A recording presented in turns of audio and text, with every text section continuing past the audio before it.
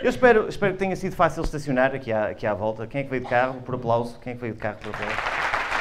Então, foram estes que andaram aqui à volta assim, foda-se, nunca mais vou ver o gajo, nunca mais vou ver.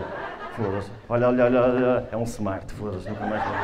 Nunca mais vou ver. Não há nada pior quando nós vamos para um concerto ou para um sítio onde há muita gente.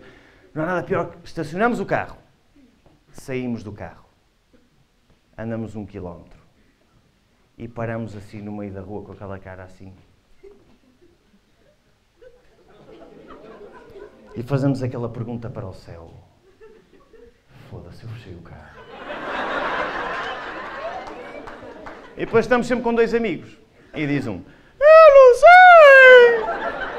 E diz o outro muito preocupado, opa, olha que eu deixei lá os óculos. Corremos o risco de ter o carro aberto com as nossas coisas lá dentro, com o rádio, com o próprio carro, e ele só está preocupado com os óculos, não está preocupado com mais nada. Mas nós depois tentamos nos mentalizar, porque isto é uma coisa recorrente, isto é uma coisa que acontece muitas vezes. Nós pensamos, não, não, eu fechei o carro, não, não, vamos lá que eu fechei o carro, não, vamos que eu fechei o carro, não, foda-se, filha da. E andamos. E depois acontece uma coisa curiosa que é, a partir do momento em que estabelecemos contacto ocular com o carro, o que é que fazemos? Sacamos do comando, levantamos assim e começamos a fazer aquela figurinha pela rua abaixo que é.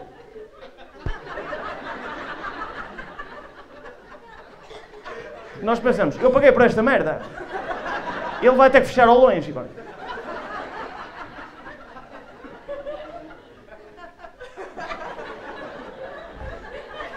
Como se atirássemos o sinal. De repente aquilo. Cu, cu. Ah, fechou ou não fechou? O carro aqui. E andamos mais um quilómetro. E tornamos a parar assim.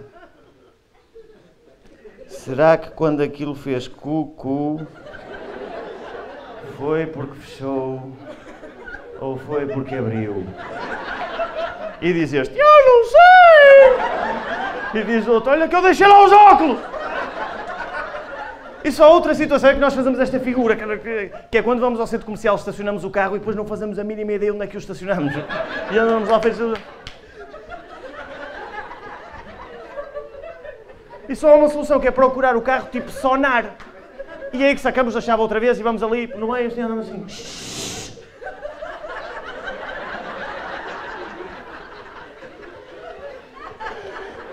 De repente ouvimos. Cucu! Ahá! Olhamos à volta, estão mais cinco gajos.